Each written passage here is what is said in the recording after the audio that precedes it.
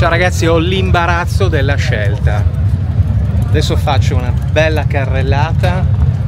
Io sono al centro di un panno incredibile di motociclette. Fa paura, davvero fa paura. È incredibile. Cioè, praticamente è un mare di moto